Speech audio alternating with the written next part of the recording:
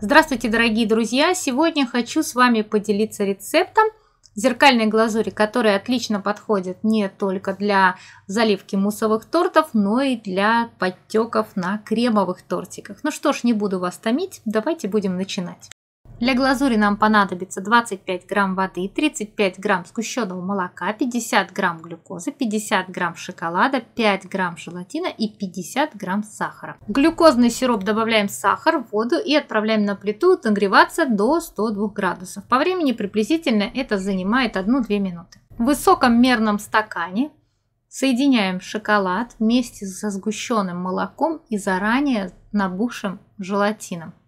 Заливаем горячим сиропом, слегка перемешиваем ложкой, добавляем при желании краситель нужного вам цвета и пробиваем блендером. При этом блендер ставим слегка под наклоном для того, чтобы было как можно меньше пузырьков воздуха в вашей глазури. Накрываем пленкой в контакт и отправляем в холодильник на 6-8 часов для стабилизации.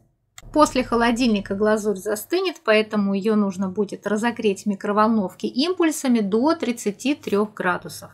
Данную глазурь я буду сегодня использовать для подтеков на кремовом торте, поэтому переливаю ее в кондитерский мешок и начинаем делать подтеки.